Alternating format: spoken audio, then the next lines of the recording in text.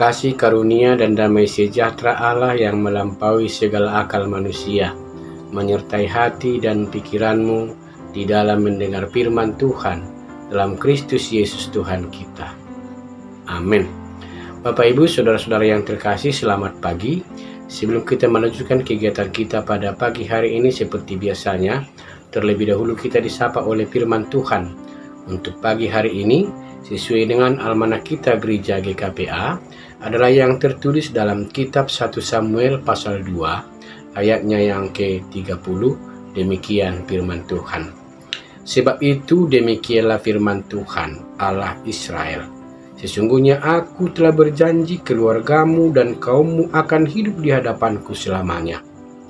Tetapi sekarang demikianlah firman Tuhan jauhlah hal itu daripadaku Sebab siapa yang menghormati aku akan kuhormati, dan siapa yang menghina aku akan dipandang rendah.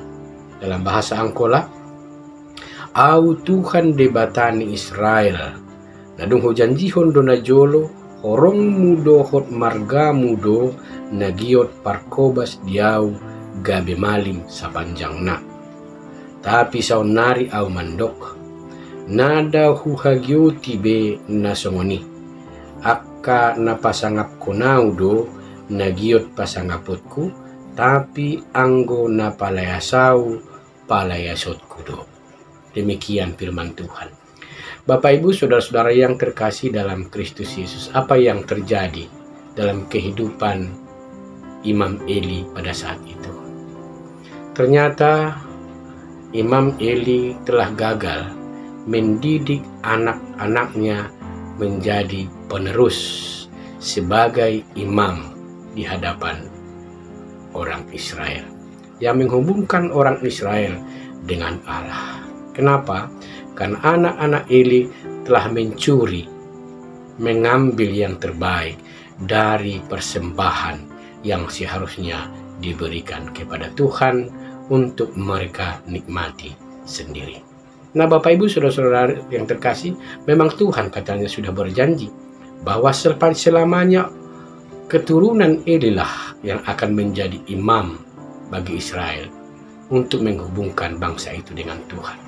Tetapi karena kegagalan anak-anak Eli, ternyata Tuhan marah dan janji Tuhan itu dicabut Tuhan tidak mau lagi memakai anak-anak Eli dan keluarganya keturunan Eli sebagai imam di hadapan Tuhan.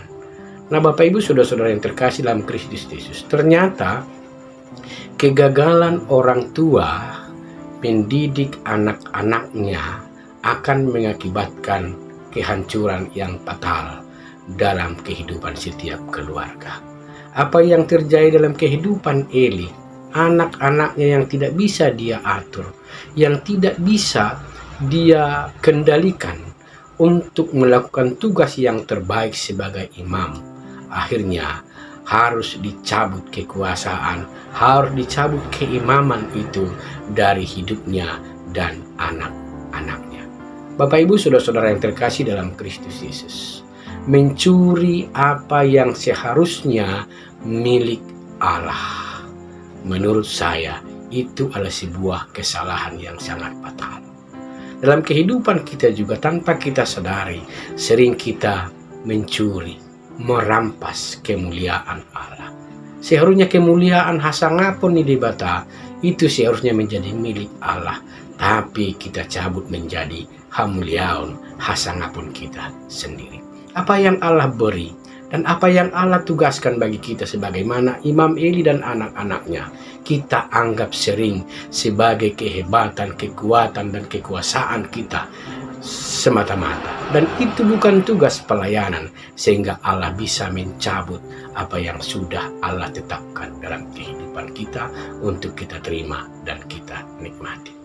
Nah Bapak Ibu Saudara-saudara yang terkasih dalam Kristus Yesus. Melalui firman ini kita diarahkan untuk menjadi orang tua atau keluarga yang mampu mendidik anak cucunya dengan baik. Melakukan yang terbaik dalam setiap tugas pelayanan yang Tuhan percayakan dalam kehidupan kita masing-masing. Sebagai imamat yang rajani, kita semua adalah imam. Dan kita ditugaskan untuk melakukan tugas-tugas yang dipercayakan Tuhan dalam kehidupan kita, baik di tengah-tengah keluarga, masyarakat, dan gereja. Dalam kehidupan kita masing-masing, bisa saja kita gagal, bisa saja kita merampas apa yang seharusnya menjadi milik Tuhan untuk menjadi milik kita pribadi dan kita nikmati sendiri. Dengan hal itu firman Tuhan berkata, dengan kemarahan aku akan mencabut itu semua dan janjiku tidak akan kulanjutkan karena engkau sudah melanggar perjanjian yang kutetapkan. Nah Bapak Ibu Tuhan telah menetapkan kebahagiaan, sukacita dan berkat yang melimpah bagi setiap keluarga, bagi setiap orang tua yang mampu mendidik anak-anaknya menjadi orang yang bekerja sesuai dengan ketetapan Tuhan. Dan pada saat kita gagal melakukan itu, melakukan tugas itu untuk mendidik anak cucu kita menjadi orang-orang yang takut akan Tuhan. Tentu janji Tuhan juga akan dicabut.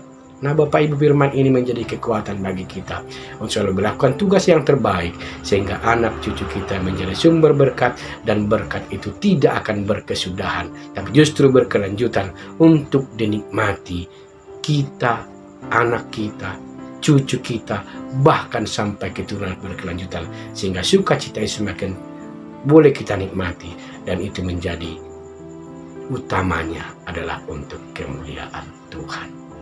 Amin, kita berdoa. Syukur dan terima kasih Tuhan atas firman-Mu. Kegagalan Eli untuk mendidik anak-anaknya menjadi cerminan bagi kami. Kami juga bisa saja gagal mendidik anak-anak kami. Tapi tolong Tuhan kuatkan mampukan kami agar anak cucu yang Tuhan percayakan dalam keluarga kami boleh kami didik sesuai dengan kehendak agar mereka tidak menjadi orang-orang yang melawan Tuhan, tidak menjadi orang-orang yang yang mau mencuri kemuliaan Tuhan, bah untuk ke untuk kebahagiaannya, sukacitanya, bahkan dirinya sendiri. Kuatkan mampukan kami menjadi orang tua yang sungguh-sungguh bertanggung jawab dalam Kristus Yesus.